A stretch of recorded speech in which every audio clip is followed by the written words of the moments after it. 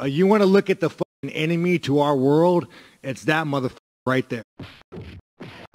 Uh, we've got a pretty supportive gay and lesbian Yeah. community in this city. I did want to ask you about something you wrote a couple of years ago. You said if I had a gay son, I would think I'd. Oh, look, another, another, I'm saying to you, the swamp, you guys, the swamp. Gay is normal. Yeah. Gay is just nature. So that's another thing, dude. If I have a kid and I think he's gay, I'm gonna do everything I can to make this kid not gay. I'm gonna, I might even take him to therapy. If he has a list and starts walking around like this, dude, I don't want to f- gay as a kid. You become a champion, you become a star, and, and someone. Let me ask you something. Are you, are you, are you gay? Have you had the chance no, to are, interact with a are, more diverse are you, let me know, are, are you gay? Can I hear? Can I get an answer? Well, no, I'm asking, I'm, this is a part of are you, are you a gay man? I'm an ally of the community. Okay. If you had a son and he was like, you know, you had a son, he was gay, you'd be like, oh man, you don't, you don't want a grandkid? No problem with it. Oh man, well, dude, you're a weak man, dude. You're like, you're part of the problem. You elected Justin Trudeau. Like, with you, when he sees the bank accounts, like you're just pathetic.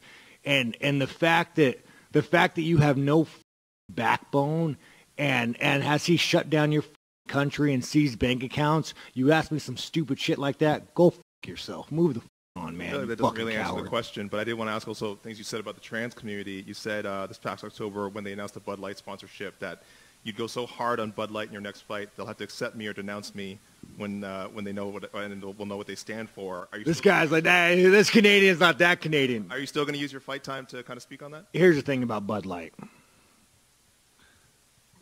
Here's the thing about Bud Light. Ten years ago, to be trans was a what? A mental illness, and now all of a sudden, people like you have weaseled your way into the world. You are you are an infection.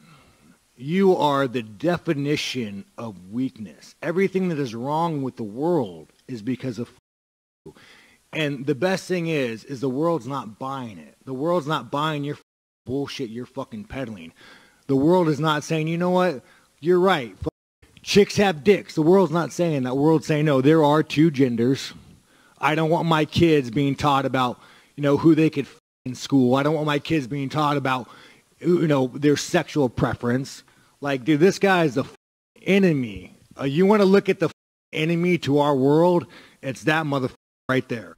Those are some harsh words. I mean, it's Sean Strickland. The dude has no filter. He has been saying everything that is on his mind. He just says it directly. I make fun of everybody, but Muslims are nuts. So there is a guy named Albert Duraev. We have a lot of Muslims at the gym. Love these guys. So one day, Albert Duraev comes up to me and he was like, hey, Sean, can I talk to you? I thought he was going to show me a move. I'm like, all right, sure. I'll, I'll be your wrestling dummy for all these little Muslims come in the cage. Well, we didn't guard. What, what position are we in here, Albert? He's like, no, no, no, no. Sit, sit, sit, sit down. Sit down, Sean.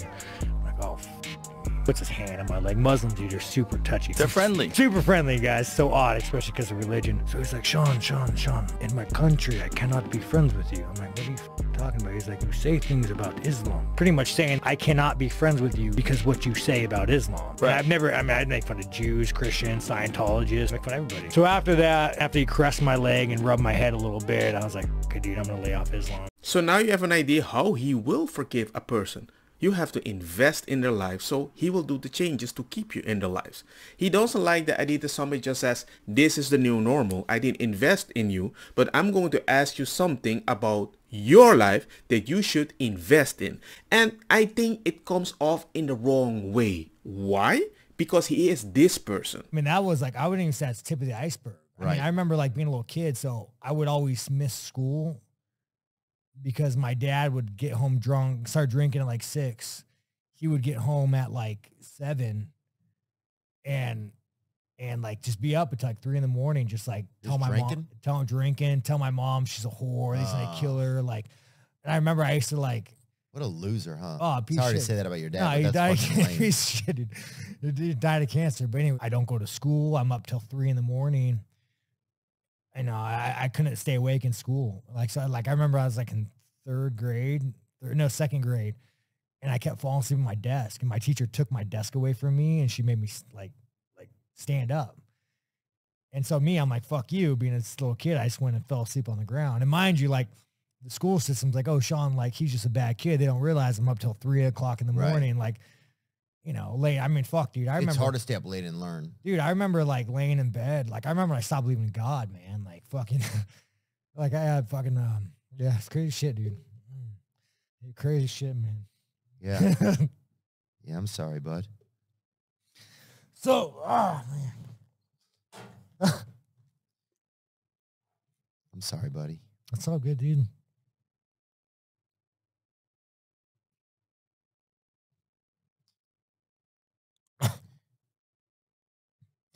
We don't have to talk, man. I can just sit here with you for a minute. Heterosexual ma- man having a bad time being raised by gangster people a little racist that he even admitted. He had to change his ways.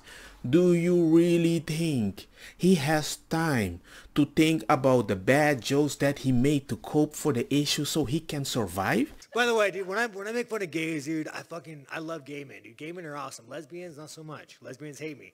Lesbians look at me like the guy that hurt them. I'm not the guy. I'm not your father. But gay men, gay men look at me like they want to fuck me, and I respect that. You know, they compliment me, they slide in my DM. I get some dick pics every now and then. I respect that shit. And it's not like he's calling out everybody is weak or only the LGBTQ. No, no, no, no, no.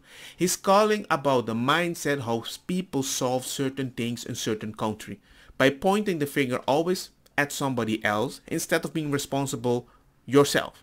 Because accountability doesn't exist. If you have it, cool. Pay more taxes. If you don't, cool. We will help you. It's a different mindset. There's a reason more people have depression and anxiety. Why? Because we don't have the tool to fight it off. We can just point finger.